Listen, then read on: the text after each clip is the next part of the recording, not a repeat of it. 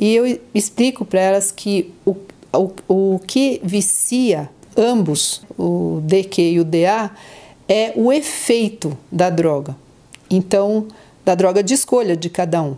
Então, no caso, a presença da pessoa que elas elegeram como seu Deus particular, porque elas colocam a pessoa no pedestal, é, na verdade, o que, o que deixa elas viciadas. E mais para frente eu vou mostrar também como é que a neurociência explica isso. Mas como só é informação o que traz a diferença, e o meu histórico é bastante eclético, então vou começar abordando a questão da mente também, de como essa deficiência de amor próprio se transforma em egoísmo e como isso é uma questão que precisa ser abordada no nível mental.